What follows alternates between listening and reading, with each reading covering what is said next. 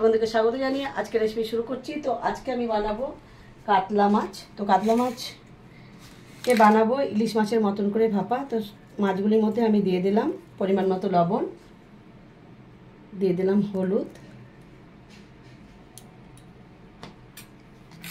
আর দিয়ে দিলাম লঙ্কা আর জিরা বাটা, শুকনো লঙ্কা। আর দিয়ে দিলাম সর্ষে পোস্ত কাঁচা লঙ্কা একসঙ্গে বেটে দুই চামচ। আর দিয়ে দিলাম এক চামচ টক দই। সমস্ত কিছু খুব ভালো করে মেখে নেব।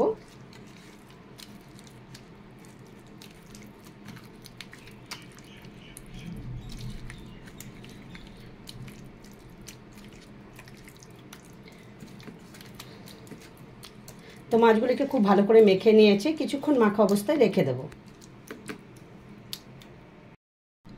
এবার মাছের মধ্যে আরও কিছুটা সর্ষের তেল দিয়ে দিলাম। দিয়ে আবার একটু মেখে নিলাম।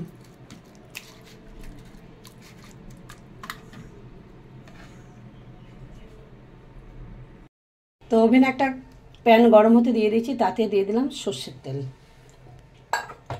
এক চামচ মতো সর্ষের তেল দিয়ে দিয়েছি।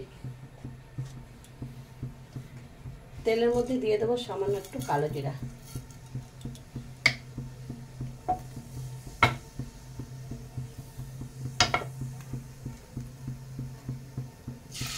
এরপরে দিয়ে দেবো মাছগুলি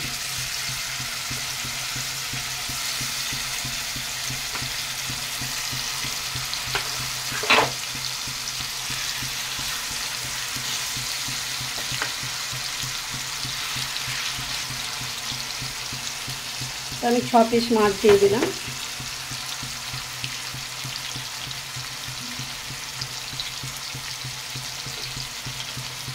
আর দিয়ে দেবো কয়েকটি কাঁচা লঙ্কা।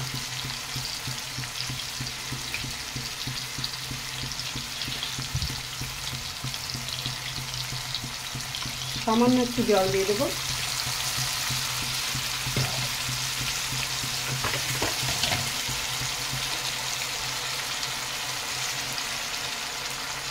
এবারে সিম আঁচ করে ঢাকা দিয়ে রেখে দেব দশ মিনিট। বন্ধুরা দশ মিনিট ঢাকা ছিল। তো এরপরে আমি ঢাকাটা খুলে নিয়েছি দেখো আর মাছটাকে উল্টাবো না, একদম ইলিশ মাছের মাছের মতোই করে করছি। আর এরকম প্যানটা ধরে একটু নাড়িয়ে নেব একটু তলায় ধরে গেছে কিনা। দেখব তো তো তলায় ধরেনি।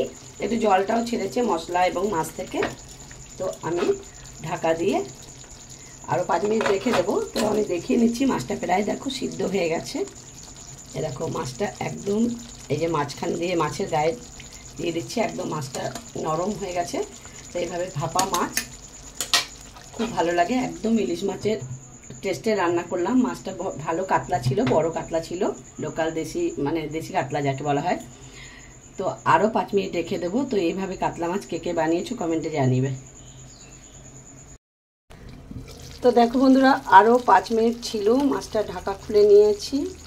মাছটা একদম রেডি হয়ে গেছে। দেখো, দেখতে কেমন সুন্দর হয়েছে, খেতে হয়েছে। সেই টেস্টি দেখেই বুঝতে পারছ কালারটা মাছের। তো এখন ঢাকা দিয়ে রেখে দেবো রেস্টে গ্যাসটা বন্ধ করে দেব। তো আমার এই মাছের রেসিপিটা ভালো লাগলে আমাকে লাইক করতে ভুলো না কমেন্ট করে জানিও। আর নতুন বন্ধু হয়ে থাকলে আমার চ্যানেলটিকে সাবস্ক্রাইব করার অনুরোধ রইল।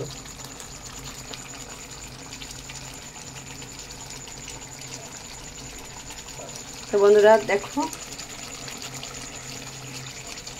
ভিডিওটি এখানেই শেষ করছি। ভিডিওটি দেখার জন্য ধন্যবাদ।